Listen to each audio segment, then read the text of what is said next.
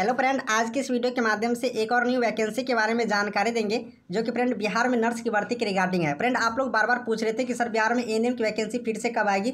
चलिए खुशखबरी आ गया है, देख लो सारे कैंडिडेट क्योंकि एएनएम की रिक्वायरमेंट के लिए फिर से एक रिक्वायरमेंट आ चुका है। ये ऑनलाइन करने की प्रोसेस कब से होगा सिलेक्शन प्रोसेस क्या रहेगा कौन कौन इसे अप्लाई कर सकता है, पूरा ऑफिशियल नोटिफिकेशन के माध्यम से हम लोग इस नोटिस को जानते हैं। तो चलिए डायरेक्ट ऑफिशियल नोटिफिकेशन पर और डिटेल्स में जानते हैं इस रिक्वायरमेंट के बारे में। फ्रेंड ये है ऑफिशियल नोटिफिकेशन जो कि प्राचार्य के कार्यालय ये नोटिफिकेशन राजकीय आरबीटीएस होम्यो मेडिकल कॉलेज एवं अस्पताल मुजफ्फरपुर बिहार की तरफ़ से रिक्वायरमेंट है। आरबीटीएस कॉलेज के लिए रिक्वायरमेंट है, जो कि रिक्वायरमेंट आपको आउटसोर्सिंग के आधार पर होने जा रही है और ये बिल्कुल कॉन्ट्रेक्चुअल रहेगा। फ़िलहाल दो हज़ार बाईस तेईस सेशन के लिए होंगे, आगे भी इसे रिन्यूअल किए जाएँगे। फ्रेंड इसमें जो रिक्वायरमेंट की प्रक्रिया है, वो यहाँ पर देख सकते हो कि राजकीय R B T S homoeo medical college एवं अस्पताल मुजफ्फरपुर में रिक्त पड़े तृतीय वर्ग के पदों जैसे कि होम्यो मिश्रक, प्रयोगशाला प्रवैधिकी dresser, matron, A N M, x-ray technician store keeper इत्यादि जो भी पद है, सारे पदों को भरने के लिए आउटसोर्सिंग के माध्यम से रिक्वायरमेंट निकाले जाएँगे। ठीक है? अब यहाँ पर ए एन एम का भी रिक्वायरमेंट है, इसलिए हम सिर्फ़ ए एन एम के बारे में जानकारी दे देते हैं। तो ए की कितनी सीटें आएँगे,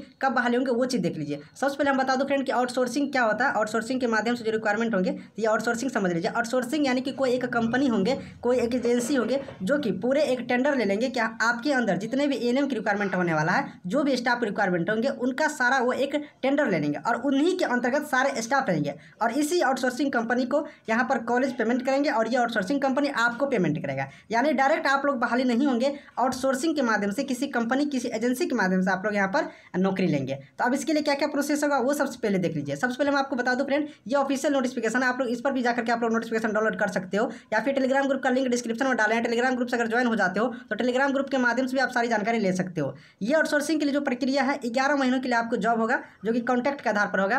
कार्य संतोषप्रद होने की स्थिति में निविदा विस्तार किया जा सकता है, यानी कि आपके जो नौकरी का पीरियड होगा, वो फिर से रिन्यूअल हो सकते हैं। लेकिन आपका कार्य संतोषप्रद होना चाहिए। यानी कि फ्रेंड फ़िलहाल ग्यारह महीने के लिए होता ही है कॉन्ट्रेक्चुअल वाला जॉब फिर उसे रिन्यूअल किया जाता है। अगले सालों के लिए फिर इसी तरह से आपकी प्रक्रिया बढ़ती रहती है। ये चीज़ हो गया। अब आउटसोर्सिंग कंपनी करेंगे क्या? कि कॉलेज के जो एड्रेस है, इस एड्रेस के माध्यम से ये अपना एक टेंडर भरेंगे, ठीक है? ये टेंडर भरेंगे और टेंडर भरने के बाद जो कंपनी इसमें पास आउट होंगे, जो कंपनी को सेलेक्ट करेंगे या जिस एजेंसी को कॉलेज सेलेक्ट करेंगे, उन सारे एजेंसी के तहत अप्लीकेशन फॉर्म निकाले जाएँगे। और अप्लीकेशन फॉर्म जो निकाले जाएँगे, उसमें आप लोगों की सारी चीज़ दिखाया जाएगा कि इतना एन के सीट होगा, इतना नर्स की सीट होंगे, इतना जी के होंगे और उनकी सैलरी होगा, इसके लिए सिलेक्शन प्रोसेस किया जाएगा, सारा चीज़ दिया जाएगा। ये चीज़ हो गया। अब बात करते हैं फ्रेंड कि एन की जो रिक्वायरमेंट होगा, यहाँ पर देख सकते हो इस तरह से फॉर्मेट बनाया जा रहा है और इसी फॉर्मेट में एजेंसी को देना होता है।